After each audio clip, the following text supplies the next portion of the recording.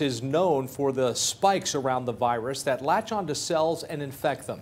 And it's a change in these spikes that's making a mutated version of the coronavirus more infectious. CBS 12 News reporter Danielle Waugh explains.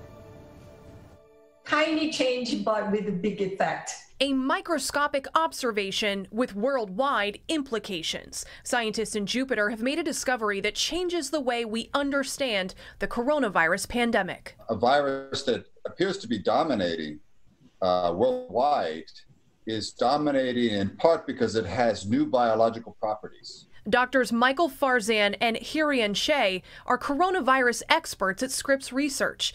In their new study, they say the coronavirus has mutated and is now better at infecting our cells. They studied the spike proteins that surround the virus. You can see these spikes illustrated here. These are what attach to our cells and infect them.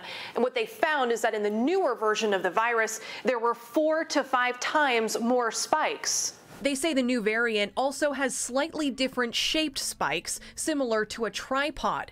They say that new shape makes it attach to cells better. The new version of the virus isn't necessarily more dangerous, but it appears to be more infectious. The scale of the result was, I think, the surprise element here.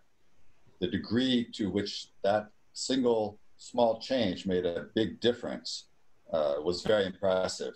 Should the average person who hears about this be concerned? Not in America and Europe because uh, nothing changes because we already have this mutated virus. The doctors say this is the same mutation that's been here for months, and they say it could explain why outbreaks in Italy and in New York City seemed so much more severe than others. As their study begins the peer review process, they say their main message is to continue to take this virus seriously as more mutations are expected.